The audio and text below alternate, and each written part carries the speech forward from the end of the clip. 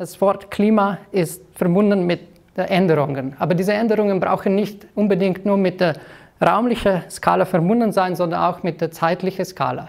Und äh, diese Klima ändert sich schneller und schneller, besonders in den letzten 100 Jahren. Und das werden wir jetzt auch auf einem Video sehr schön sehen.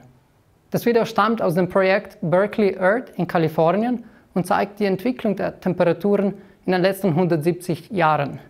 Die Karte zeigt den gleitenden Mittelwert der Temperaturabweichung im Vergleich zur 1951 bis 1980 Referenzperiode.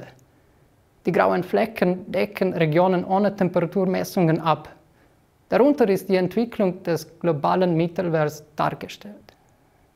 Und man kann schnell feststellen, dass die Temperatur sowohl auf regionaler als auch auf globaler Ebene hochvariabel ist.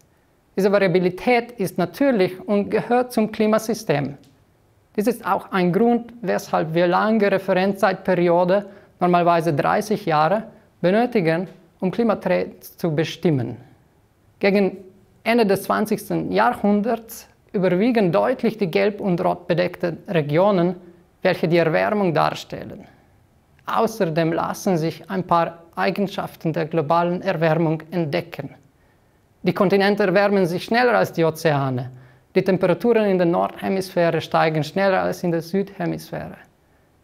Die Größe der Erwärmung ist jedoch oft noch regional sehr unterschiedlich.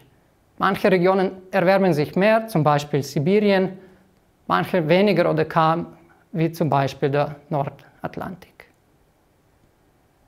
Die nächste Grafik wurde von der Zentralanstalt für Meteorologie und Geophysik bereits gestellt und zeigt die Temperaturanomalien für Österreich zwischen 1770 und 2020 im Vergleich zu den Durchschnittswerten von 1961 bis 1990. Und wie auf der globalen Skala steigen die Temperaturen in den letzten 50 Jahren besonders schnell auch in Österreich.